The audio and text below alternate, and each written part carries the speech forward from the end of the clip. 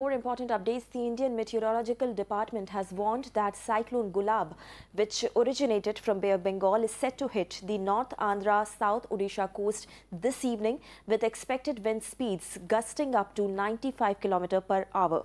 The cyclonic storm is likely to make a landfall around Kalingapatnam between Vishakhapatnam and Gopalpur, Gopalpur today.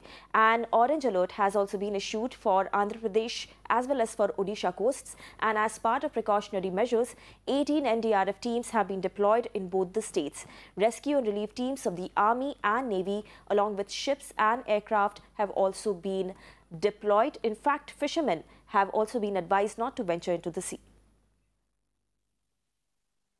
Under its impact, we have issued uh, different type of warnings. Uh, that uh, very heavy rainfall, extremely heavy rainfall warning in some districts, and wind warning on some part, uh, some districts, uh, storm surge warning, port warning, fisherman warning.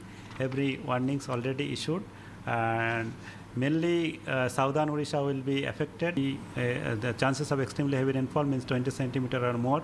Puri, Khurda, Nayagarh, Kalahandi districts also have the heavy to very heavy rainfall activity.